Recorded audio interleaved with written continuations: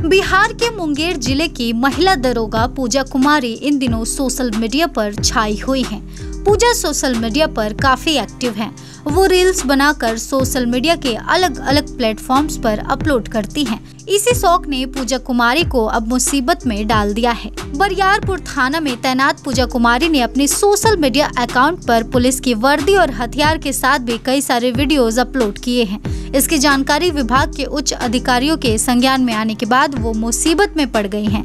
इस मामले में पूजा कुमारी के खिलाफ जाँच के आदेश दिए गए हैं पुलिस मुख्यालय के नियमों के मुताबिक किसी भी ऑन ड्यूटी पुलिस कर्मी पर ऑन ड्यूटी वीडियो बनाने और सोशल मीडिया पर शेयर करने पर प्रतिबंध है। इसका अनुपालन नहीं करने वाले अधिकारियों पर सख्त से सख्त कार्रवाई करने के नियम हैं। वहीं इस मामले को तुल पकड़ता देख महिला दरोगा ने सोशल मीडिया अकाउंट को डिलीट कर दिया है। पूजा कुमारी सोशल मीडिया पर काफ़ी फ़ेमस है। उनके कई वीडियोस पर मिलियन में व्यूज़ हैं। यही नहीं इंस्टाग्राम पर सात लाख से अधिक फॉलोअर्स भी हैं। वहीं इस मामले पर मुंगेर एसपी ने बताया कि हमें इस तरह की जानकारी मिली है। मामले की जाँच की जाएगी और सत्यापन के बाद ही कार्रवाई की जाएगी।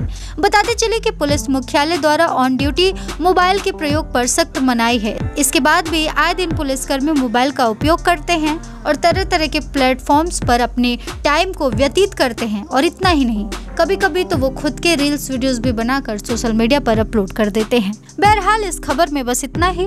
आपको इस खबर पर क्या कुछ कहना है, हमें कमेंट सेक्शन में ज़रूर बताएँ। और इस तरह के तमाम खबरों से जुड़े रहने के लिए करारा न्यूज़ डे नाइट को सब्सक्राइब करना ना भूलें।